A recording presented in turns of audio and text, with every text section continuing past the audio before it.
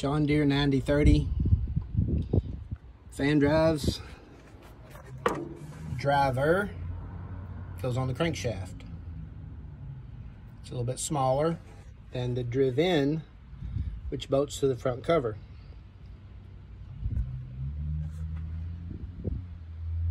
So driver on the crankshaft, driven on the front cover.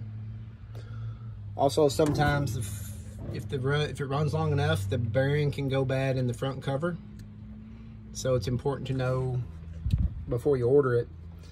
Sometimes we leave them attached, but if you need a front cover, we have those also.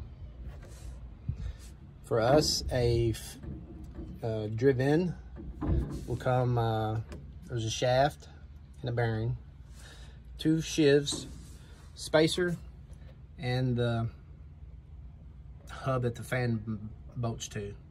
Fan does not come with it. Same thing on the drive, uh, on the driven, excuse me, the driver,